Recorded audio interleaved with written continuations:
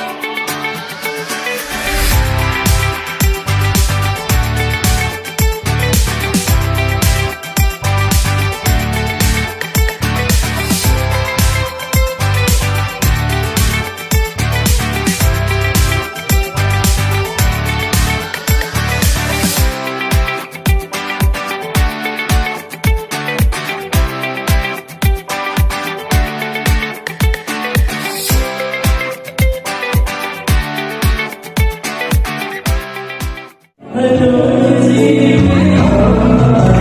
to the sun.